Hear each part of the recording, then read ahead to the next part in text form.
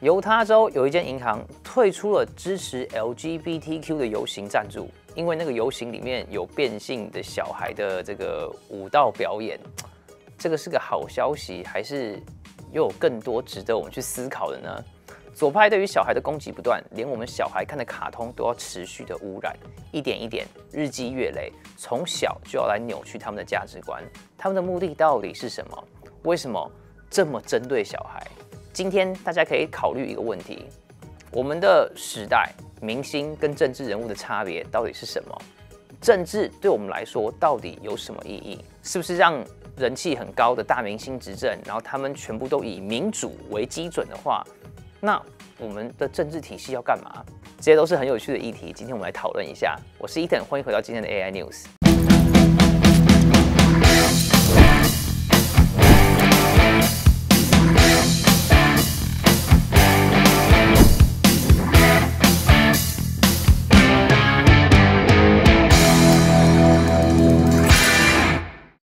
有一个消息一定要报一下，是来自犹他州的银行退出了支持 LGBTQ 游行的赞助。这个游行叫做 Boys Pride Festival，因为这个游行会有才十一岁的变性小男孩在台上演出。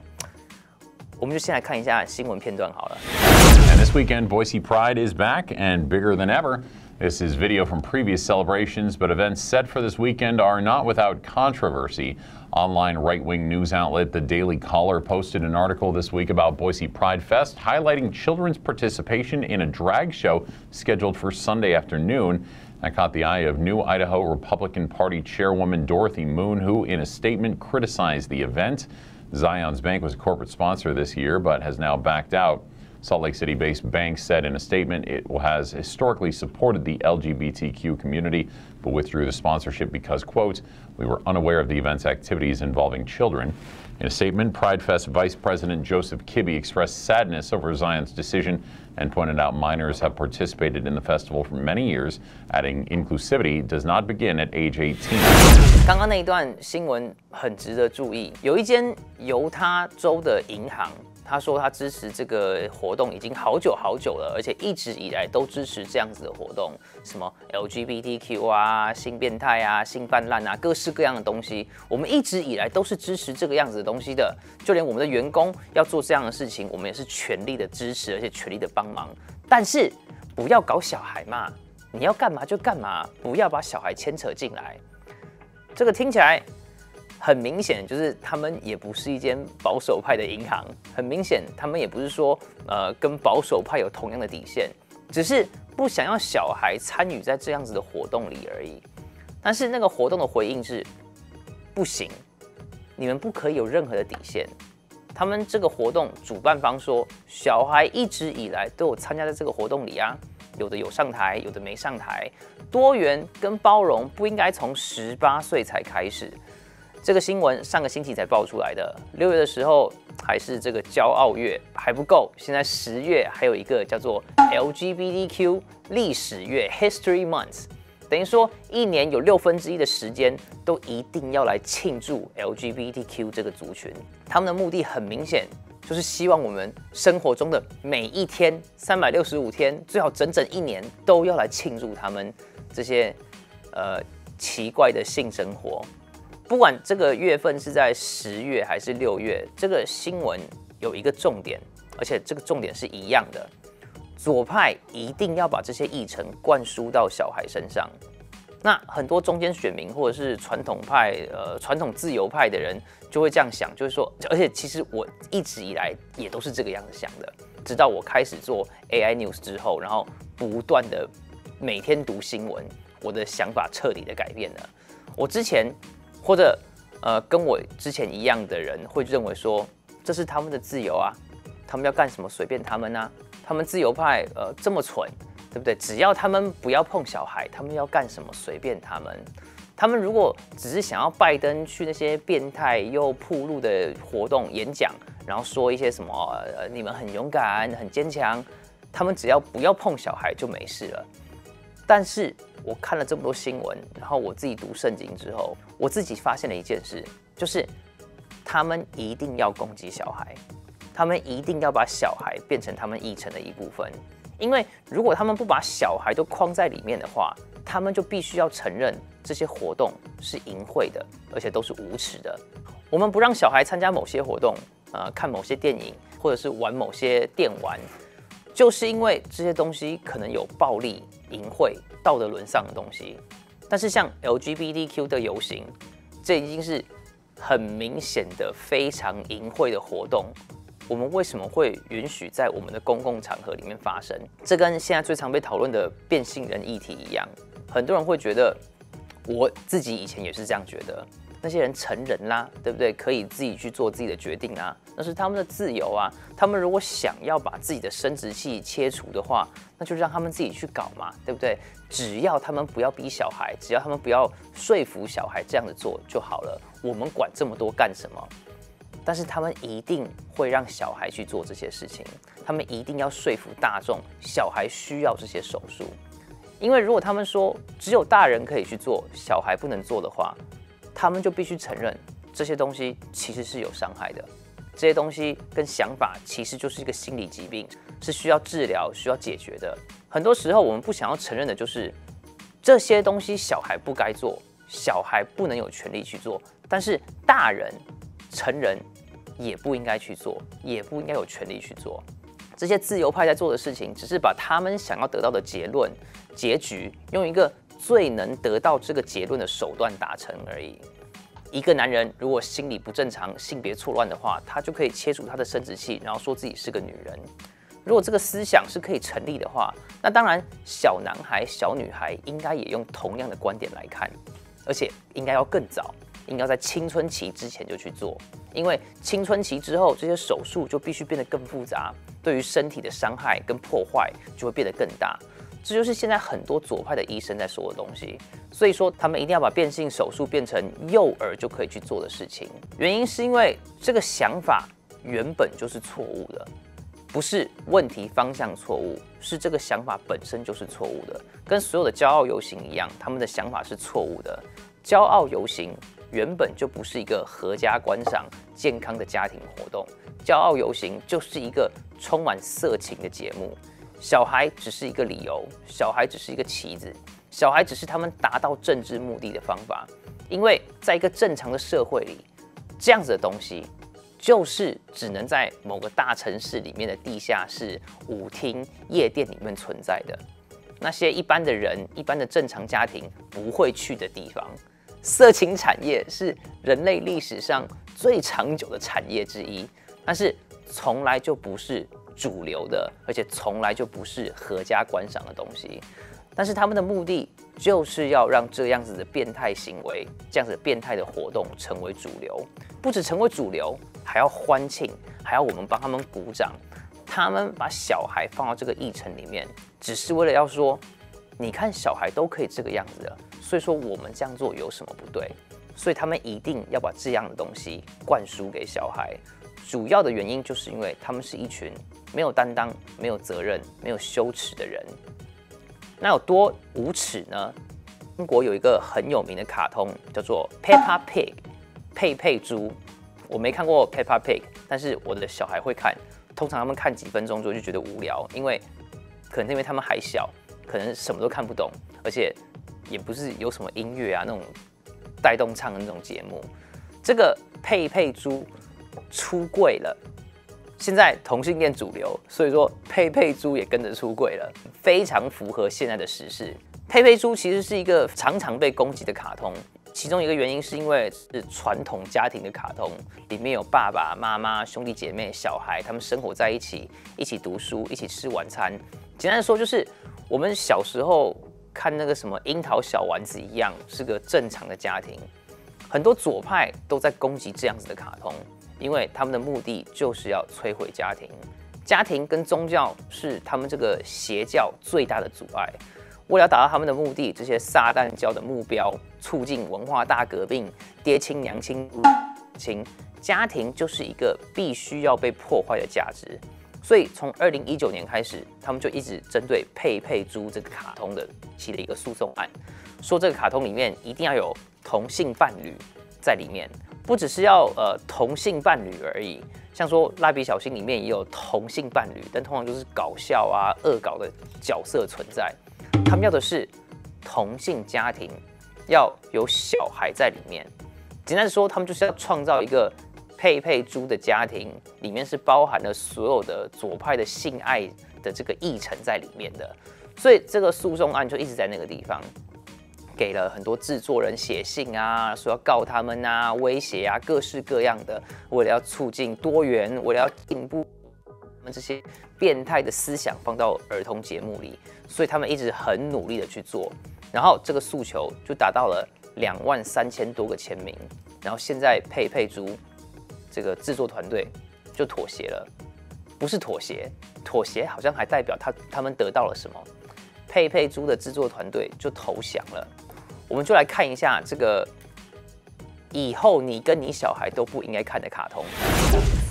I'm Penny Polar Bear. I live with my mummy and my other mummy. One mummy is a doctor and one mummy cooks spaghetti. I love spaghetti. Lovely Penny. OK，那我们接下来就会听到很多保守派或者是中间派的人，甚至小部分的左派就会在那边说：为什么觉醒文化这么猖狂？为什么都要搞觉醒？世界怎么会变成这个样子啊？为什么会觉醒成这个样子？为什么要污染小孩的卡通呢？这个是很常见的抱怨，也很常见的观点。为什么觉醒文化会这么猖狂？而且这是有答案的，因为我们什么都没做，因为我们拒绝抵制，我们除了抱怨、祷告说万军之耶和华，亲来翻转这个时代，然后我们什么都没做。这就是为什么，不管在政治里面还是在生活里面，也也都一样，一直不断发声的人，一直不断声音很大的人，就算人数不多，也比一堆人但是什么都不讲来的有力量。这个佩佩猪的卡通就是非常好的例子。我相信绝大多数的人都跟我一样，佩佩猪就是一个呃小孩的白噪音，就是我们不想要理小孩的时候放在那个地方让他们安静的卡通，上面演什么我们根本不在乎。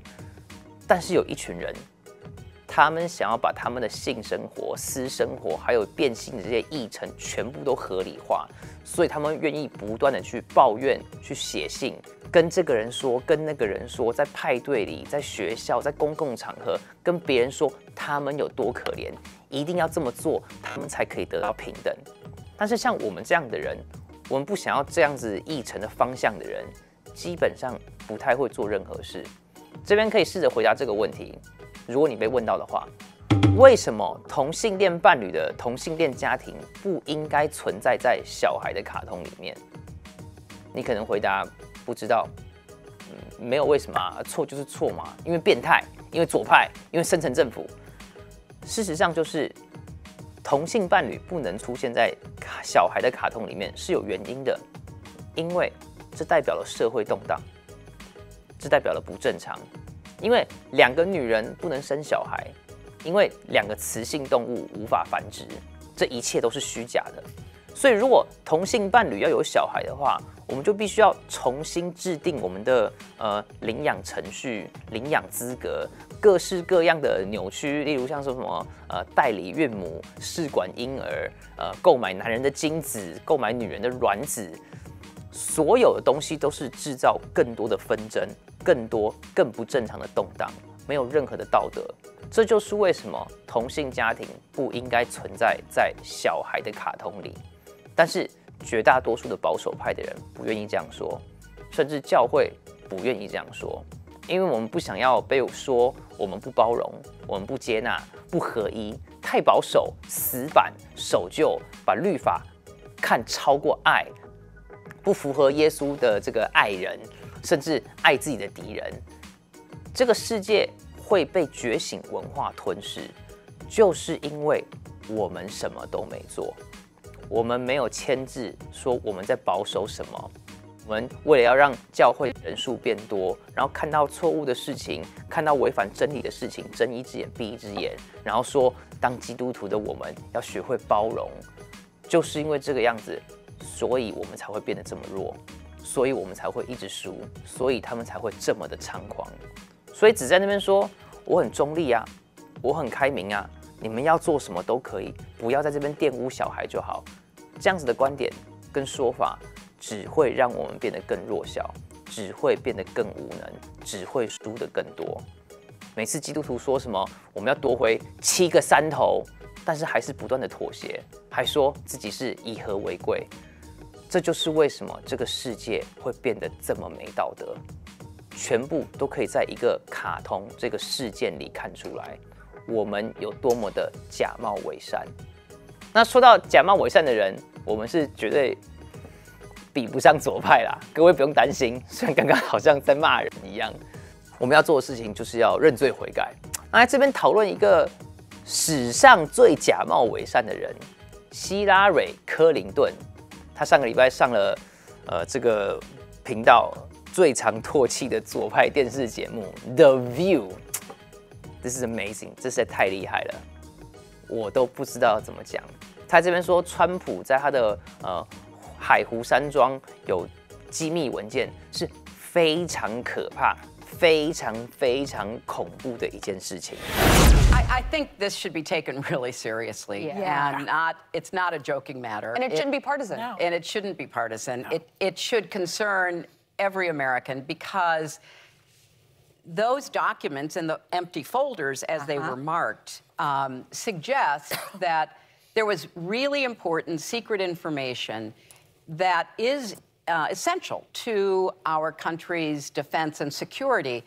And when the report came out yesterday that the documents also included information about, we don't know which, an ally or an adversary's nuclear program.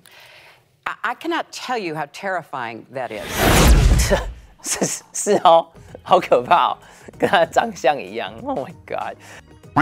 我发现了一件事，就是这些机密文件在哪里没被泄露，然后在哪里是安全的， 就是在川普的衣柜里。OK，一被 FBI 搜出来，马上就上了《华盛顿邮报》。哪一个比较可怕？机密文件在川普的衣柜里，还是机密文件在《华盛顿邮报》的头版？然后希拉蕊说，很多人会为了这些机密文件死，哎，对不对？我们之前节目就讨论过，有多少人因为希拉里的机密文件而死，有被自杀的，对不对？还有一个是被吊死在一间餐厅，然后身上被散弹枪打成蜂窝，结果法医判决说是自杀的。还有像那个 Jeffrey Epstein，，Never mind，当我没说，我还有小孩，OK，我还有家庭。Anyway，我们就来看一下这位左派的圣母玛利亚说的东西。We don't have yet an understanding of what was in them. We're getting little dribs and drabs, like the nuclear uh, posture of an ally or an adversary. But I do, I mean, people literally die to get our government information. They go to prison. Yeah. They get exiled. It's dangerous oftentimes. And the idea that this would have been done, um, I hope everybody takes really seriously. It is not some casual, try to come up with some, you know, throwaway. It's not like an overdue library book. No, not like an overdue. 对，如果国家的有什么机密的话，那应该要给希拉里，应该要像他那样的处理方式，他会把它放在自己的私服器上面，然后政府问他要那些东西的时候，他就会把它全部洗掉，而且还用漂白水把那些机密文件全部都破坏掉来脱罪。或许这才是最正确的脱罪方式，这个才是真正最好的解决方法。我们的时代的政治出了很大的问题，就是我们分不清楚明星跟政治人物。我们以为政治人物是可以跟明星一样运作的，就跟那个木村拓哉那个当首相的那个日剧一样。空棒哇，我特希望阿萨库拉 K 泰德斯，刚好那个日剧的名字就叫做 Change，如果我没有记错的话，这一切政治人物偶像化，就是就是从奥巴马跟他那个 Change Yes We Can 开始的，甚至如果要追溯更久的话，甘乃迪好像也算是。我们分不清楚偶像明星跟政治人物，最能体现这一切的就是左派的女神 AOC Alexandra Ocasio-Cortez，她就是一个政治圈塑造出来的明星，跟奥巴马还有希拉蕊一样，她有一个明星的个性，在国会里面什么都不做，呃，也不立法，天天在那边炒新闻，因为大家都觉得他的呃法案很不聪明。我答应过我们的观众，我不再讲脑残了。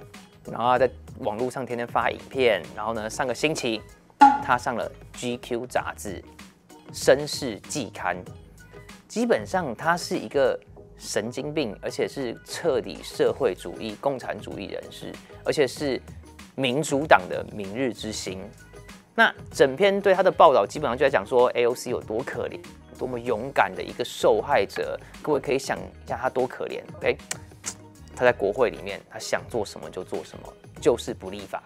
然后可以上 GQ，GQ 是一个时尚杂志，男性时尚杂志，Gentleman's Quarterly。OK，这个报道到底是跟时尚有关，还是跟政治有关？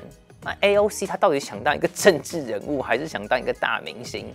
这个报道很长。其实也没有很长，但是废话一个字都算多。让我来总结一下这个报道在说什么，这样子大家就不用浪费时间。不过如果说你以一个娱乐角度去看的话，例如你在马桶上面，你真的是要花一点时间的话，真的非常欢迎你去读一下。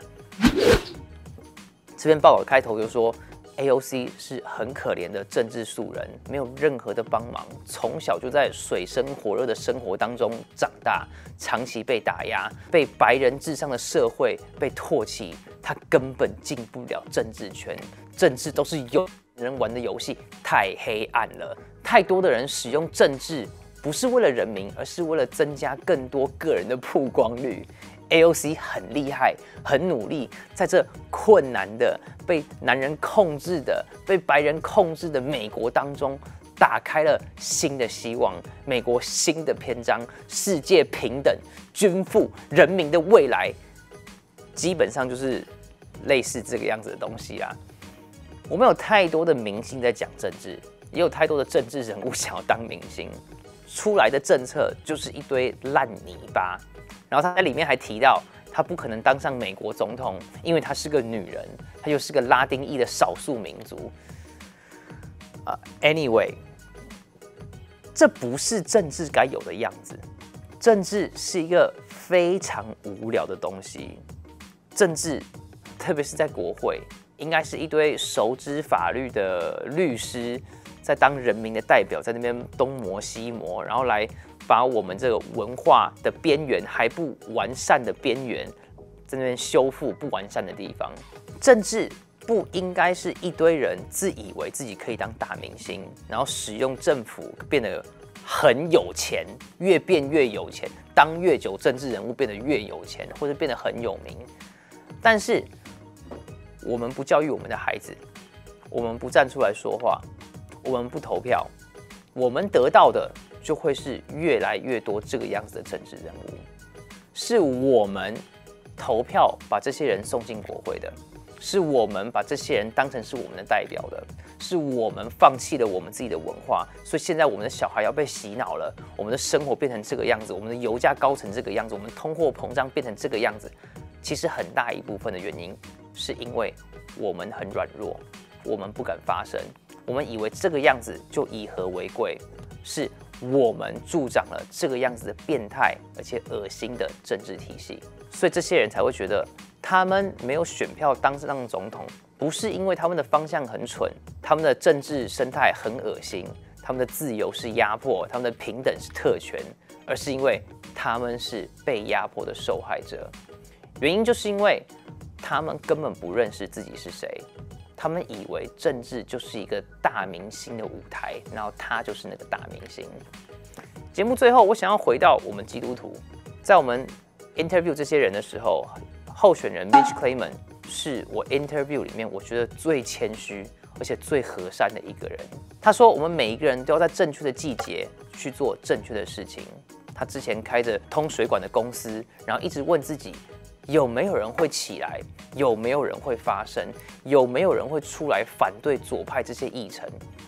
最后他发现，这个是神给他的 calling，神要他起来，神要他起来做事，为了他的家庭，为了他的社区，为了他的国家，为了基本常识。我们当基督徒的，真的要好好想一想，我们到底什么时候才要活得跟耶稣一样，放弃自己的舒适，放弃自己的生活，为了正义发声，为了真理发声，真正的把这个时代的痛苦背在自己身上，而且为了神的道德观奋战。